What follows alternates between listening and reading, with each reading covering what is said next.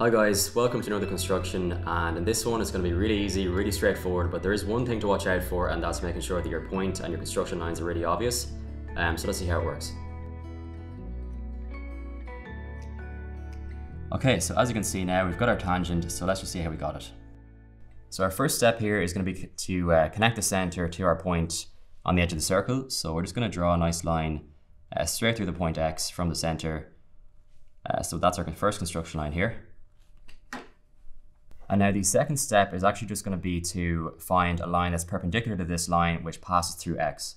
So to do that, we're going to take our compass and swing some distance out from x on the line we just, we've just drawn. So uh, using our compass on both sides like this.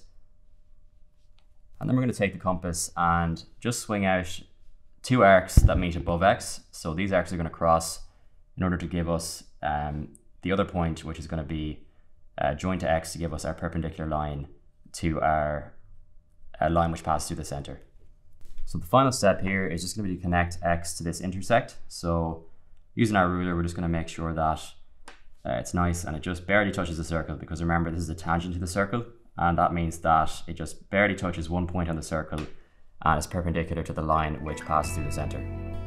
So that is it for this construction and I'll see you next time.